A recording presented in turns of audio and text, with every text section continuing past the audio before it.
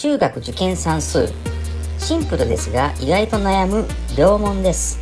では始めましょう。図のように形も大きさも同じ3つの長方形を並べました。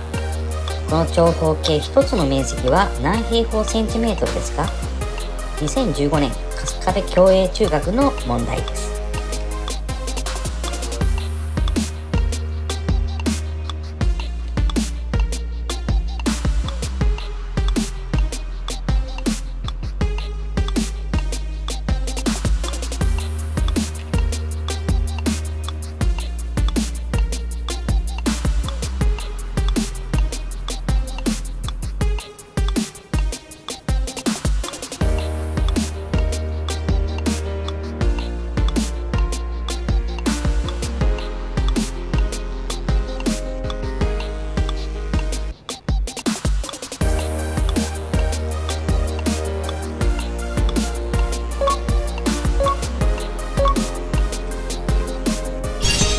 解説をします。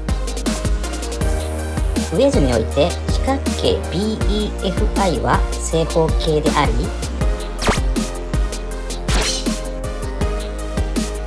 それと同じものを上図のように描くと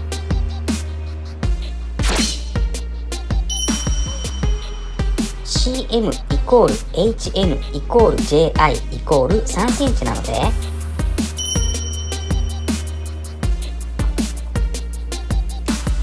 BI の長さは CH-CM-HN 割る3これを計算して2センチであるから EF イコール IF イコール2センチとなり